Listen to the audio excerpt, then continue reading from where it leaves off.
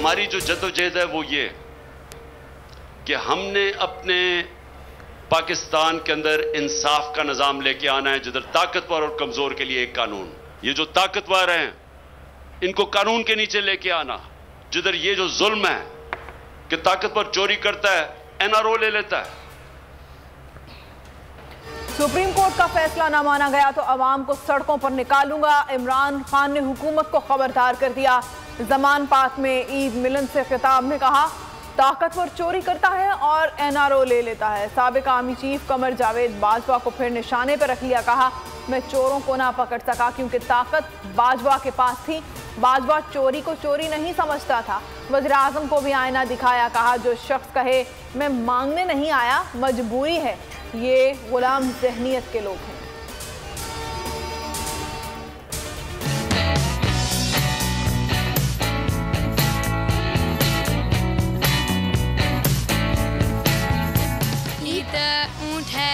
Dragon है enjoy करेंगे झूले खाएँ बहुत। ईद का पहला रोज़ मुसरतों और खुशियों के साथ गुजरा। आज है दूसरा रोज़, जो पहले रोज़ बने मेहमान, आज बनेंगे मेज़बान। घरों में दावतों का आज भी होगा खसूस इंतज़ाम।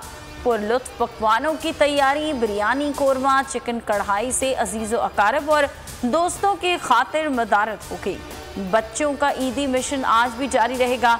पहले रोज़ छोटे बड़े शहरों में नमाज़ ईद के बड़े इज्तम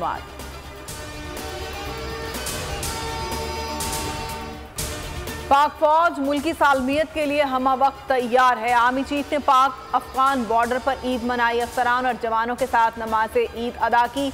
जनरल नासिम मुनीर ने कहा, सरहदों के दिफा के लिए पुराजुम है। सरहदों की हिफाजत से ज़्यादा मुकदस कुछ नहीं। सिपा सालार का शहदा को ज़बरदस्त खराज अकीदत बोले। दिफाए वतन और दहशत गर्दी की लानत के खात्मे के लिए अपनी जान का नजराना पेश करने वालों को हरगिज़ फरामोश नहीं करना चाहिए। वजी अजम का सर्विस चीफ को फ़ोन करके ईद की मुबारकबाद। हमारा मौका, बड़ा वाजे है कि आइन के मुताबिक इलेक्शन जो है, वो एक ही दिन होने चाहिए और तमाम असम्बलियों के इलेक्शन जो है, वो इकट्ठे होने चाहिए। अगर पंजाब का इलेक्शन पहले होता है और यहाँ पे एक सियासी हुकूमत मार्ज वजूद में आ जाती है तो जब जनरल इलेक्शन होगा तो फिर वो क्यों कर वो हुकूमत जो है, वो असरअंदाज नहीं होगी, भले वो हमारी हो या किसी और की हो। और उस इलेक्शन के रिज़ल्ट को कोई तस्लीम नहीं करेगा। तमाम सियासी जमातें जो है, वो मिल बैठे और मिल बैठ के इस मसले का जो इस वक्त मुल्क को दरपेश है। चौदह मई को इलेक्शन होते नज़र नहीं आ रहे। अगर हुए तो नतज तस्लीम नहीं करेंगे। राना सनाउल्ला की हटदर्मी बरकरार। कहा कि इस किस्म का इलेक्शन ना करवाएँ जो अनारकी लेकर आए। अक्टूबर से पहले इलेक्शन के लिए तमाम जमातों को सर जोड़कर बैठना होगा। हुकूमत मज़ाक के लिए तैयार है। छब्बीस अप्रैल को तहरीक इंसाफ से रबता करेंगे। ख्वाजा आसिफ ने कहा कि ज़ाती ख्वाहिशात की वजह से अदम इसकाम है। कौमी एजेंडे पर फोकस करना होगा। का इलेक्शन सामने है, तारीख आ चुकी है। अगर मजाकरात में पेशरफ नहीं होती तो चौदह तारीख को इंशाल्लाह इलेक्शन होंगे। पीडीएम सरकार इस नशिस्त को ताखीर के लिए इस्तेमाल न करे। अगर वो चाहते हैं कि एक दिन बैक वक्त सारे मुल्क में इंतखाब हो तो उसके लिए भी हमें देखना होगा कि आईनी रास्ता क्या है। मुजाकरात में पेशरफ ना हुई तो 14 मई को हर सूरत इलेक्शन होंगे। शाह महमूद कुरैशी का दो टोक मौकफ, कहा हुकूमत चाहती है एक दिन इलेक्शन हो तो आईनी रास्ता देखना होगा। पीटीआई बातचीत चाहती है, लेकिन ये निशस्त ताखीरी हर बार नहीं होनी चाहिए। इलेक्शन का मसला आईनी तौर पर हल ना हुआ तो मजीद उलझ जाएगा। परवेज इलाही को खदशा कहा कि मुजात आइनी हदूद में रहकर ही हो सकते हैं। मजीद ये बोले कि फजल रहमान ही को सबसे ज़्यादा इलेक्शन की जल्दी थी। आज वही मुखालफत में पेश पेश हैं। उनकी न्यूज़ कॉन्फ्रेंस इंतहाई गैर जिम्मेदाराना है। अकल का अंधा ही अदलिया से टकरा सकता है। सुप्रीम कोर्ट आर्टिकल 190 की तरफ़ गई तो ये नाहल होंगे। शेख रशीद की बोल के प्रोग्राम बस बहुत हो गया, मैं गुफ्तु कहा। ख्वाहिश है। इमरान खान के इस्टेब्लिशमेंट के साथ ताल्लुक अच्छे हों। आसिफ सरदारी बिलावल को वजी अजम बनाना चाहते हैं। चाहता हूँ इन सबको जेल में डालूँ जब तक ये पैसा ना वापस ले आए।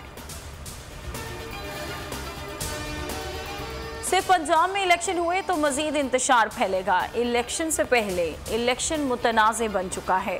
अमीर जमात इस्लामी सराजुल हक का इजहार तशवीश। ईद नमाज़ के बाद मीडिया से गुफ्तु में कहा कि ये मुल्क दो पार्टियों का नहीं, तेईस करोड़ आवाम का है।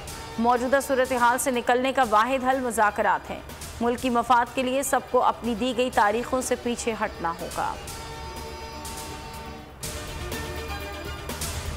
है गले हमको लगाकर मिलिए रस्म दुनिया भी है मौका भी है दस्तूर भी है। सुबह ज़बरदस्त। आपको ईदी मिलती है किसी से?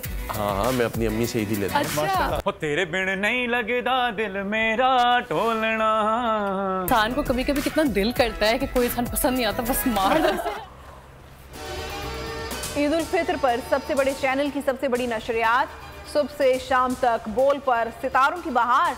गवर्नर सिंह कामरान तसूरी की शिरकत शेख रशीद सईद गनी फयाजुल हसन चौहान बने बोल के मेहमान। फ़िल्म डोर के अदाकार असद महमूद और उनकी अहलिया सारा असद भी बोल नशरियात का हिस्सा। शोबिस शख्सियात एमन मुनी भट्ट उशना शाह, सोनिया हुसैन, मोहसिन अब्बास नज़र आएँगे बोल की स्क्रीन पर। सिद्दीक चाँद, अली मोहम्मद खान, मलिया हाशमी और शंदाना गुलजार भी होंगे बोल के मेहमान। मारूफ क्रिकेटर रुमान रईस से भी बात होगी। फैसल कुरैशी खेलेंगे फनकारों के साथ दिलचस्प गेम।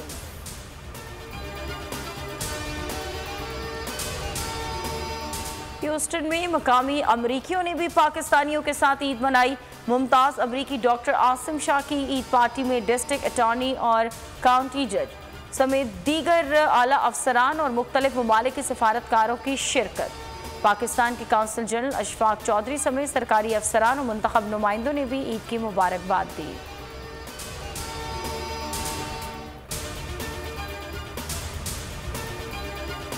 तरह बोल्ड टीवी खड़ा हुआ है आज़ादी राय के लिए और और राय हक के लिए। और जिस तरह उन्होंने प्रेशर बर्दाश्त किए हैं, और मुझे पता है कि शुआइब शेख को जिस तरह जेल में डाला गया, और सिर्फ़ उसका कसूर ये था कि वो एक जालिम के सामने झुका नहीं तो उसको जेल भी जाना पड़ा। और मुझे पता है आपके एक और मार्केटिंग हेड को भी पकड़ लिया तो बोल्ड टीवी के पहले तो सारे जो काम करने वाले हैं और शुआइब शेख को मेरा पैगाम ये है कि देखें, ये ऊंच नीच ज़िंदगी का हिस्सा है। मुश्किल वक्त आते हैं, चले जाते हैं। लेकिन ये मुश्किल वक्त में पता चल जाता है कि कौन राय हक पे है और कौन कौन वो लोग हैं जो कि जालिम का साथ देते हैं। ये भी वाजे हो जाता है।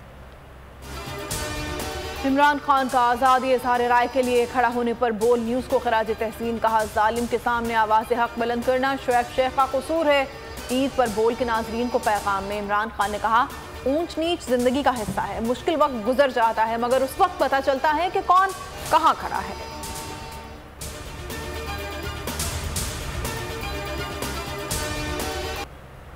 बारह रोज गुजर गए, बोल के मार्केटिंग हेड आकाश राम का कुछ पता न चल सका। आलमी मीडिया ने कई सवाल उठा दिए। टाइम्स नाउ ने कहा कि हुकूमत पाकिस्तान आकाश के अगवा पर खामोश है। हिंदू पोस्ट ने आकाश पर टूटे कहर की दास्तान लिख दी। आज तक ने भी दुखियारी माँ की पुकार का हवाला दिया। इंडिया टुडे ने सुर्खी लगाई। बोल न्यूज़ के हेड ऑफ़िस के बाहर मशकूक गाड़ी चक्कर लगाती रही और उसी गाड़ी ने आकाश को अगवा किया। लिखा आकाश की माँ, बेटे की बाजियाबी के लिए दुआएँ दे रही है, लेकिन कोई सुनवाई नहीं। आलमी सहाफती तंजीमें भी सरापा एहतजाज। कराची के चिड़ियाघर में बीमार हतनी नूरजहां चल बसी। एडमिनिस्ट्रेटर डॉक्टर सैफुर रहमान की तस्दीक। कहा, नूरजहां को बचाने की तमाम तर कोशिशें की। लाश को खराब होने से बचाने के लिए ईदी फाउंडेशन सरगर्म साथ ईदी चिड़ियाघर पहुँच गए, कहा कि कल पोस्टमार्टम होगा। श्रीलंका का दो हथनियाँ पाकिस्तान को तोहफे में देने का ऐलान। एजाजी काउंसिल जनरल का कहना था कि एक हथनी कराची चिड़ियाघर और दूसरी लाहौर चिड़ियाघर को दी जाएगी।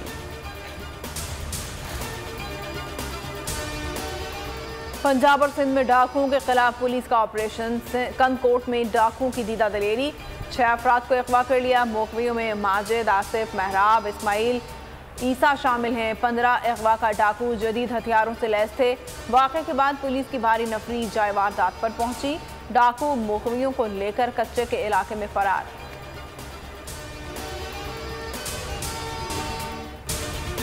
तोरखम लैंड स्लाइडिंग हादसे के एक और जस्ते खाकी को निकाल लिया गया। जांबाक अफराद की तादाद आठ हो गई। रेस्क्यू हुकाम ने जस्ते खाकी को लंडी कोतल अस्पताल मुंतकिल कर दिया। Rescue double one double two का कहना है, अब तक की इतलात के मुताबिक तमाम लापता अफराद की लाशों को निकाल लिया गया है, ताहम रेस्क्यू ऑपरेशन ताहाल जारी है।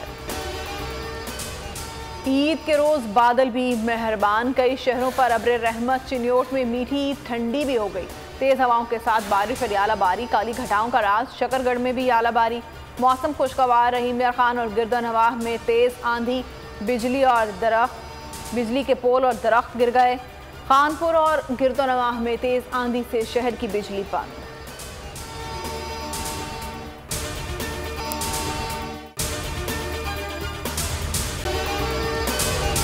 अगर आपको ये वीडियो पसंद आई है तो हमारे चैनल को सब्सक्राइब करें और बेल आइकन को प्रेस करें।